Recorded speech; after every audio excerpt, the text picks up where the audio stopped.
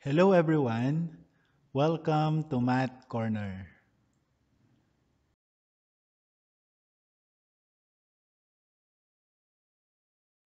In adding or subtracting rational expressions with like denominators, add or subtract the numerators and write the sum or difference in the numerator over the common denominator.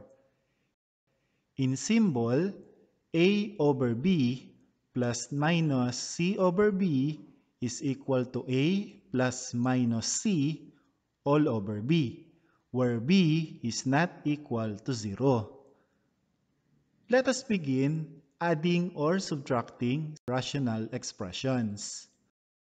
Example number 1, 4 over x minus 3 plus 8 over x minus 3. Let us add the numerators. 4 plus 8 is equal to 12. And then, copy the common denominator, which is x minus 3. We need to express the answer in lowest term. Since 12 over x minus 3 is already expressed in lowest term, 12 over x minus 3 is the sum or the final answer.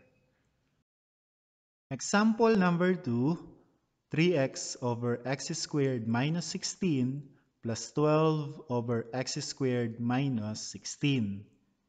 In the numerator, we have 3x plus 12. And we will copy the common denominator, x squared minus 16. Let us simplify the answer. Let us factor the numerator and the denominator. For 3x plus 12, the greatest common factor is equal to 3. Let us factor out 3, and to determine the other factor, let us divide 3x plus 12 by 3. 3x plus 12 divided by 3 is equal to x plus 4.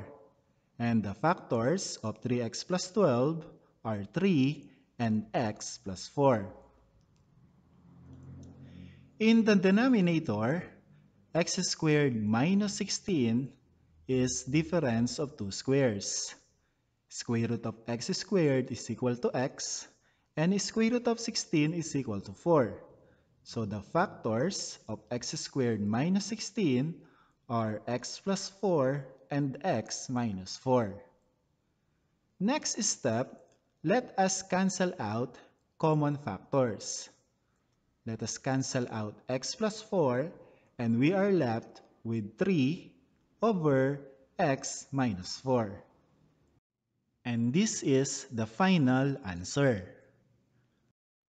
Example number 3, 7 over 2x minus 1 minus negative 3 over 2x minus 1.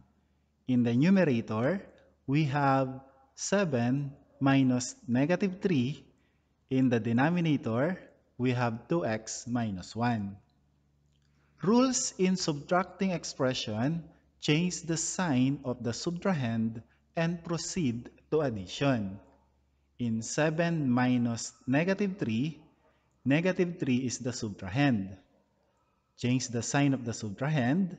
From negative 3, it becomes positive 3 and then proceed to addition. 7 plus positive 3 is equal to 10. So we have 10 over 2x minus 1. And since it is already expressed in lowest term, this is the final answer. Last example, x squared minus 64 all over x squared plus 5x plus 4 minus 7x minus 20 all over x squared plus 5x plus 4. In the numerator, we have x squared minus 64 minus quantity 7x minus 20. In the denominator, we have x squared plus 5x plus 4. The subtrahend is 7x minus 20. Let us change the sign of the subtrahend. Positive 7x becomes negative 7x and negative 20 becomes positive 20. And then proceed to addition. Let us rewrite the numerator. We have x squared minus 64 plus negative 7x or minus 7x plus 20 all over x squared plus 5x plus 4. Let us combine similar terms. Negative 64 plus 20 is equal to negative 44. So we have x squared minus 7x minus 44 all over x squared plus 5x plus 4. Let us simplify the answer. Let us factor the numerator and the denominator. The numerator and the denominator are both quadratic trinomials where a is equal to 1. Let us begin factoring the numerator. Let us find factors of c, which is equal to negative 44, when added is equal to b, which is equal to negative 7.